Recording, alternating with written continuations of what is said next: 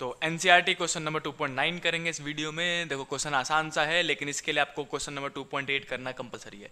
क्योंकि question related है exercise 2.8 से। अगर वो क्वेश्चन आपने पहले नहीं किया है तो वीडियो को यहीं रोक दो, पीछे जाओ, और या फिर डिस्क्रिप्शन में लिंक भी दे रखा है, वहाँ जाके पहले 2.8 वाला क्वेश्चन देखो, और अगर आपने देख लिया तो आगे बढ़ो। देखो।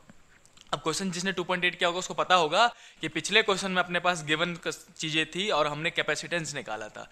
कैपेसिटेंस निकला था 18 पिकोफेरेड यानी कि 18 इंटू टेन की पावर माइनस ट्वेल्व फेरेड अपने पास, ऐसे करके कैपेसिटेंस पिछले क्वेश्चन में निकल चुका था। पिछले क्वेश्चन में जो वोल्टेज आपने अप्लाई किया था लास्ट में, वो दैट वाज 100 वोल्ट ये हमको पहले से ही प्रीवियस क्वेश्चन में गिवन था। प्रीवियस क्वेश्चन में गिवन था। प्रीवियस क्वेश्चन में अपने को गिवन था ये सब चीज़ें तो हमने लिख दिया यहाँ पे। अब इसके बाद हम कह रहे हैं कि इस क्वेश्चन में क्या कह रहा है कि अब क्या होगा बताओ कि अगर हम एक मिका की सीट डाल दे, जिसका डायलेक्ट्रिक कांस्टेंट कितना है सिक्स यानी कि यहाँ पे गिवन है के equal to six dielectric constant छह दे रखा है। तो व्हाट विल हैपन और दो केसेस दे रखे इसमें। पहला केस कहता है while the voltage supply is remain connected देखो गाँव वालों, ये हम अच्छे से पढ़ाते हैं बच्चों को कि कनेक्टेड और डिसकनेक्टेड केस कहते हैं। जिन बच्चों ने पढ़ रखा है कनेक्टेड डिसकनेक्टेड उनको इजिली समझ में आ जाएगा। पहला केस कह रहा है कि कनेक्टेड का केस है। किसका? रिमेन कनेक्टेड यानी कि बैटरी को कनेक्ट रखा कैपेसिटर में। देखो, मैं समझा दो फिर भी थोड़ा सा ये मान लो कि कैपेसिटर है अपने पास। और नीचे में आपने बैटरी लगा रखा है। ठीक? ऐसे करके, कोई भी सोर्स लगा रखा है। अब बैटरी में कनेक्ट ही रखा अपने कैपेसिटर को और उसके बाद एक मिका की सीट यानी कि डायलैक्ट्रिक जिसका डायलैक्ट्रिक कांस्टेंट कितना है? सिक्स वो आपने इंसर्ट कर दिया। जब बैटरी कनेक्टेड था, तब आपने इंसर्ट कर दिया। तो बताइए, क्या फ़र्क पड़ेगा? अब इन्होंने दिया तो है नहीं, किस पे निकालना है फ़र्क?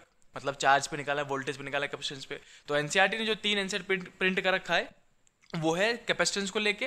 तो पहले तो कैपेसिटेंस पे क्या फ़र्क पड़ेगा? तो देखो सिंपल सी बात है, अगर आपने डेरिवेशन कर रखा हो तो जब भी जब भी हम डायलैक्ट्रिक डालेंगे कैपेसिटर के अंदर कैपेसिटी बढ़ेगी।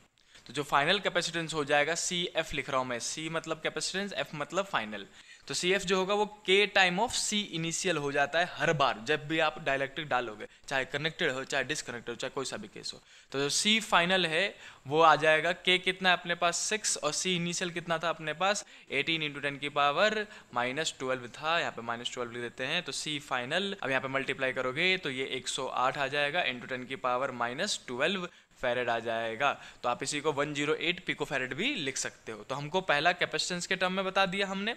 दूसरा हम बताएँगे भैया वोल्टेज के टर्म में, जो क्योंकि एनसीआरटी ने लिख रखा है तो बताना पड़ेगा। अब देखो पैरेलल में है ये। अगर इसका वोल्टेज वी है तो जो इसके अक्रॉस वोल्टेज रहेगा, वो भी वी ही रहेगा। हम बोलेंगे पैरेलल में वोल्टेज सेम रहता है। तो वोल्टेज पे कोई फ़र्क नहीं पड़ेगा। वोल्टेज कितना रहेगा? सौ वोल्ट कितना रहेगा? सौ वोल्ट रहेगा। तीसरा और लास्ट चीज़, जो तीन चीज़ें बता रखी है एनसीआरटी ने कैपेसिटेंस वोल्टेज और चार्ज के बारे में।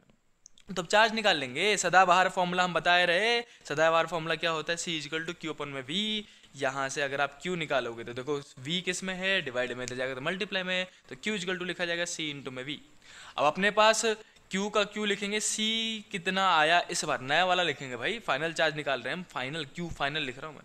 108 इंटू में टेन की पावर माइनस ट्वेल्व हो गया है। इंटू में वोल्टेज कितना था? 100 वोल्ट था। तो 100 वोल्ट यहाँ पे 100 मल्टीप्लाई कर देंगे। तो जो फाइनल चार्ज आएगा आपके पास, वो 108 ज़ीरो एट इंटू टेन की पावर माइनस टेन लिख सकते हैं कूलाम में। तो ये अपने पास आंसर है एनसीईआरटी ने 1.08 तो यहाँ से दो पावर घटा दो माइनस एट हो जाएगा यार, बात तो बराबर ही है। तो अब इसके आगे बढ़ेंगे तो अपने पास दूसरा क्वेश्चन भी है। दूसरा क्वेश्चन देखो, ये पहला पार्ट सोल्व हो गया कि जब कनेक्टेड था बैटरी कनेक्टेड था आप क्या बोलोगे? कैपेसिटेंस के टाइम बढ़ेगा, ऐसे करके सॉल्व कर देना वोल्टेज सेम रहेगा, क्योंकि पैरेलल में वोल्टेज सेम रहता है, ऐसे लिख देना। पैरेलल में, ऐसे इंग्लिश में लिख देता हूँ पैरेलल में वोल्टेज सेम रहेगा। व्हाट्सअप लैंग्वेज वोल्टेज सेम रहेगा रहेगा। ऐसा करके लिख दिया अपन। और लास्ट में हम सदाबहार फॉर्मूला लगाया चार्ज निकाल दिए। इसके बाद भैया हम आगे बढ़े, दूसरा पार्ट सॉल्व करेंगे इसका। बी पार्ट कह रहा है कि अच्छा इस बार बैटरी को कर दिया डिस्कनेक्ट अब जब हम बैटरी हटा दिए इस बार तो बताइए क्या फ़र्क पड़ता है? फिर से वही तीन चीज़ निकालनी है कैपेसिटेंस वोल्टेज और चार्ज की बात करेंगे। तो देखो इस बार केस में है क्या? कि जो वोल्टेज था ना, यहाँ से बैटरी जो था, वो डिसकनेक्ट कर दिया।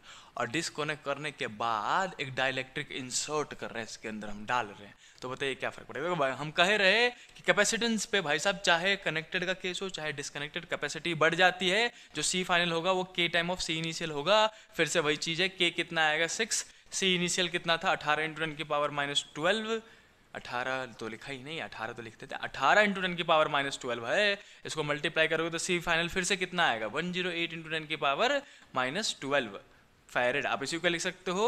ऐसे करके लिखा जा सकता है one zero eight pico farad pico कहते हैं टेन की पावर माइनस ट्वेल्व को। इतना तो पता होना चाहिए। तो ये तो भाई साहब, चलो पहला हो गया कि अपने पास कैपेसिटेंस जो है वो इंक्रीज होगा, चाहे कनेक्टेड का केस हो, चाहे डिसकनेक्टेड केस दूसरा केस अब इसमें क्या होता है? देखो, जैसे आप डिसकनेक्ट कर देते हो तो अब इसको कोई चार्ज देने वाला बैटरी तो है नहीं। कोई बैटरी तो जैसे इस केस में बैटरी था, बैटरी क्या करेगा? चार्ज दे देगा। लेकिन इस केस में ना ही तो कोई देने वाला है, और ना ही तो हमने इसमें कोई एक्सटर्नल रेजिस्टेंस जोड़ा है, जो उससे चार्ज ले ले। तो ना ही तो हमने एक्सटर्नल रेजिस्टेंस जोड़ा है, इसलिए चार्ज ले भी नहीं सकता कोई, और बैटरी भी नहीं है तो दे भी नहीं सकता कोई। ना ही कोई लेने वाला है, ना ही कोई देने वाला है मतलब चार्ज की बात हो रही है नालायक को।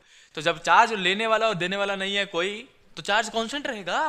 तो चार्ज यहाँ पे हो जाएगा कांस्टेंट चार्ज मतलब कॉन्स्टेंट मतलब जितना चार्ज पहले था, उतना ही चार्ज अब भी रहेगा। चार्ज में कोई चेंज नहीं आएगा। तो जो पिछले क्वेश्चन में चार्ज था अपने पास, वही चार्ज यहाँ पे भी रहेगा। पिछले क्वेश्चन में चार्ज कितना, देखो, पिछले क्वेश्चन में जो चार्ज था, वही रहेगा कॉन्स्टेंट है ना? तो वहाँ पे आया था अपने पास 18 इंटू टेन की पावर माइनस टेन कूलम पिछले क्वेश्चन में देखना पड़ेगा वैसे, तब कह रहे हैं कि 2.8 आना चाहिए पहले। तो चार्ज बदलेगा नहीं भैया, क्योंकि कोई लेने वाला नहीं है, कोई देने वाला नहीं है। बेचारा अकेले छूट गया ये। अब आगे बढ़ते हैं लास्ट वोल्टेज की बात करते हैं। देखो, अगर आपने कनेक्टेड डिस्कनेक्ट का केस कर रखा है, मैं यहाँ पे पूरा तो नहीं समझा सकता, आपको फाइनली याद करना पड़ेगा अगर नहीं पढ़ रखा है तो।